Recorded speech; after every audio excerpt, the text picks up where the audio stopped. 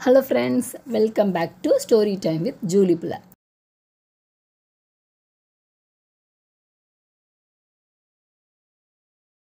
இன்றைக்கி ஒரு சூப்பரான ஸ்டோரியோட வந்திருக்கேன்.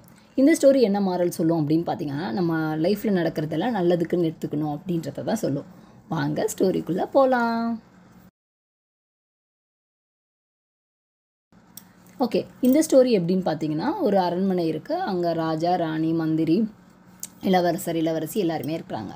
அப்போது ஒரு நாள் இளவரசர் காட்டுக்கு போகிறப்போ அவர் அம்பு வேட்டையாட தானே மோஸ்ட்லி காட்டுக்கு போவாங்க இளவரசர்கள். அப்படி காட்டுக்கு போகிறப்போ அம்பு இடுறப்போ ஏதோ தெரியாமல் வந்து அவரோட சுண்டு விரல் வந்து கட் கட் கட்டான உடனே கட்டாகி வீட்டுக்கு வர்ற ஐ மீன் அரண்மனைக்கு வர்றாரு. வந்து அரசருக்கு இது தெரிய வந்தவுடனே ஐயோ சுண்டு கட்டாயிருச்சா? கட் எப்படி வந்து இந்த இழப்பை நான் தாங்க போகிறேன் எப்படி இந்த இளவரசர் வந்து இந்த இழப்பை தாங்க போ தாங்க போகிறாரு இவர் தானே அடுத்து முடி முடி சூட போகிற இளவரசர் அப்படின்னு சொல்லிட்டு ரொம்ப வருத்தப்படுறாரு. அப்போ அங் அங் அங்கே அவர்கிட்ட வெகுமதி வாங்க வந்த ஒரு புலவர் வந்து சொல்கிறாரு புலவர்கிட்ட வந்து இவர் சொல்கிறார் இந்த மாதிரி என்னோட பையனுக்கு வந்து சுண்டு விரல் போச்சு எனக்கு ரொம்ப வருத்தமாக இருக்குன்னு. அப்போது அந்த புலவர் வந்து சொன்னாராம் நடப்பதெல்லாம் நன்மைக்கு அப்படின்னு சொன்னாராம். உடனே இதில் இதை கேட்ட கோபமடைஞ்ச மன்னர் வந்து இவன் எப்படி என் பையனுக்கு சுண்டு விரலே போயிடுச்சு அது எப்படி நடப்பதெல்லாம் நன்மைக்குன்னு சொல்லலாம். அவனை வந்து கொலை பண்ணிடுங்க அப்படின்னு சொல்லிடுவார் உடனே இவங்களும் வந்து கொலை பண்ணிடுவாங்க கொண்டுட்டாங்க அந்த அந்த அந்த புலவரை. சரியா? அப்புறம் கொஞ்ச நாள் ஆகுது மூணு மாதம் ஆகுது. அப்போ ஒரு ஒற்றர் வந்து சொல்கிறாரு இந்த மாதிரி அரண்மனையை முற்றுகையிட பிளான் பண்ணுறாங்க அப்படின்னு சொல்லிட்டு. இவங்க தயாராகிறதுக்குள்ளே அந்த எதிரி நாட்டு படை வந்து அரண்மனையை முற்றுகையிட்டுறாங்க மன்னரை சிறைப்பிடிச்சிடுறாங்க அப்போது இது இவனுக்கு அடுத்து அரசராக போகிறவன் யார் அவனை நான் கொல்லணும் அப்படின்னு சொல்லிட்டு அந்த எதிரி நாட்டு மன்னன் கேட்கும்போது இந்த அவனை நம்ம வந்து பலி கொடுப்போம் அப்படின்னு சொல்கிறாங்க இதை நம்ம சாமிக்கு பலி கொடுப்போம் அப்படின்னு சொல்லிட்டு. அப்போ சரின்னு அப்போ இவன் தானே முடி சூட போகிற இளவரசன். இவனை கொண்டு போய் கா நிப்பாட்டுறாங்க அவன் முன்னாடி. ஓகே அப்போ இவனையே பழி கொடுத்துடலான்னு சொல்லிட்டு பழி மேடைக்கெலாம் கூட்டிகிட்டு போயிடுறாங்க. எப்படி இருக்கும் அவங்க மன்னரோட கண்ணு முன்னாடியே அவனோட பையனை வந்து கொல்ல போகிறாங்க ஐ மீன் பலி கொடுக்க போகிறாங்க அப்போது அவருக்கு ரொம்ப வருத்தமாக இருக்குது கடவுளே எப்படியாச்சும் என் பையனை காப்பாற்றிட மாட்டியான்னு அந்த கிங் வந்து இப்போ ப்ரேயர் பண்ணுறாரு அப்போது என்ன ஆகுதுன்னா பலி கொடுக்க போகிற நேரத்தில் அங்கே இருக்கிற ஒரு ஒரு மந்திரி வந்து அவனோட சுண்டுகர் இல்லாததை பார்க்குறாரு.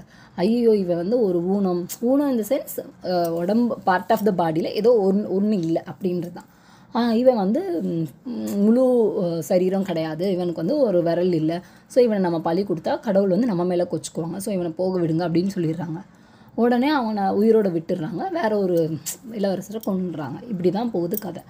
இப்போ இந்த மன்னருக்கு வந்து என்ன தோணுதுன்னா ஐயோ நம்ம பையன் அன்னைக்கு மட்டும் இந்த சுண்டு வரலை இழக்காமல் இருந்திருந்தா இன்றைக்கி இவனை கொண்டிருப்பாங்க நம்ம கண்ணு முன்னாடியே கொன் முன்னாடியே கொண்டிருப்பாங்க அப்படின்னு சொல்லிட்டு ஐயோ இது தெரியாமல் அந்த அந்த புலவர் சொன்னாரே நடப்பதெல்லாம் நன்மைக்குன்னு சொல்லிட்டு நம்ம அன்னைக்கு வந்து அவ்வளோ கோவப்பட்டு அவரை கொண்டுட்டோமே அப்படின்னு சொல்லிட்டு ரொம்ப ஃபீல் அவசரப்பட்டு முடிவு எடுத்துட்டோமே அப்படின்னு ரொம்ப ஃபீல் பண்ணுறாரு ஸோ இதிலேருந்து நம்ம என்ன தெரிஞ்சுக்கிறோம் அப்படின்னு பார்த்தீங்கன்னா நம்மளோட லைஃப்லேயும் அப்படி தான் நம்ம அவசர கதியில் நிறைய தப்பான முடிவுகள் எடுத்துகிறோம் ஸோ எந்த ஒரு முடிவு எடுக்கிறதுக்கு முன்னாடியும் கொஞ்சம் யோசிக்கிறோம் அதே மாதிரி அந்த புலவர் சொல்கிறாரு நடப்பதெல்லாம் நன்மைக்கு அப்படின்னு சொல்லிட்டு நம்மளும் நம்ம லைஃப்பில் பர்சனல் லைஃப்பில் என்ன எடுத்துக்கணும் அப்படின்னு பார்த்தீங்கன்னா எந்த ஒரு விஷயம் நம்மளுக்கு நடக்குதோ அது எல்லாமே நல்லதுக்கு தான் நடக்குது அப்படின்னு நினைக்கிறோம். ஏன்னா இப்போ இந்த கிங்க்கு வந்து அவங்க பையன் விரல் அடிப்பட்டப்போ ஐயோ அவ்வளோதான் அப்படின்னு நினச்சாரு. ஆனால் அவங்க பையன் உயிர் காப்பாற்றப்பட்டப்போ ஓ அப்போ அன்னைக்கு நடந்தது நல்லதான் ஒரு விரல் போகிறது வந்து ஒரு பெரிய விஷயம் கிடையாது. உயிர் போகிறது பெருசாக விரல் போகிறது பெருசாக விரல் போனது பெரிய விஷயம் கிடையாது. விரல் போயும் அவன் பையன் உயிரோட தான் இருந்தான். அவன் கண்ணு முன்னாடி ஓடி ஆடி விளாண்டுட்டு தான் இருந்தான். அப்படின்னு நினச்சதுனால ஸோ நினச்சான். அது அது மாதிரி நம்மளுமே வந்து நம்மளோட லைஃப்பில் நடக்கிற எல்லா விஷயமே நடக்கிறதுலாம் நல்லதுக்கு தான் நடக்குது அப்படின்னு ஒரு பாசிட்டிவ் நோட்டோட லைஃப்பை லீட் பண்ணோம். அதே மாதிரி இதில் இன்னொரு விஷயம் கவனிச்சிருந்தீங்கன்னா அவர் வந்து ரெக்ரெட் பண்ணுவார். ஐயோ அன்னைக்கு அந்த புலவரை நம்ம கொண்டுட்டோமே நம்மள்கிட்ட வெகுமதி வாங்க வந்தவர் அப்படின்னு சொல்லிட்டு. அதே தான் நானும் சொல்கிறேன் நம்மளோட லைஃப்பில் எதுவுமே ரிக்ரெட் பண்ணக்கூடாது அப்படின்னா அவசர கதியில் எதுவுமே நம்ம முடிவெடுக்கக்கூடாது. யாரையுமே நம்ம வந்து திட்டக்கூடாது. கொஞ்சம் அதுக்கான டைம் கொடுக்கணும். கொடுத்து ஓகே இவங்க நம்மளுக்கு எது எல்லாருமே லைஃப்பில் வந்து ஒரு லெசனாகவும் வருவாங்க. அட் த சேம் டைம் அவங்க ஒரு பாசிங் க்ளவுடாகவும் வருவாங்க. ஸோ இவங்க என்ன நம்ம லைஃப்பில் சென்னை செய்ய போகிறாங்க அப்படின்றத கொஞ்சம் பொறுத்திருந்து பாருங்கள் ஸோ எல்லாருமே நம்மளுக்கு நல்லது பண்ணுவாங்கன்னு நம்புங்க. நல்லதே நடக்கும். அப்படின்னு சொல்லிட்டு அதே மாதிரி அவசர கதியில் தயவு செஞ்சு யாரும் எந்த முடிவும் எடுக்காதீங்க. ஏன்னா அந்த மன்னர் வந்து அவசரப்பட்டு முடிவு எடுத்தார். எல் நடப்பதெல்லாம் நன்மைக்கேன்னு சொன்னது ஒரு குத்தமாடா அப்படின்னு அந்த புலவர் நினச்சிருப்பாரு. பட் ஒரு அவசரத்தில் எடுக்கிற முடிவு வந்து தப்பான முடிவாக கூட மாறலாம். அதனால் கொஞ்சம் பொறுமையாக எதுனாலும் முடிவெடுக்க. அவர் சிறையில் கூட போட்டிருந்துருக்கலாம்ல.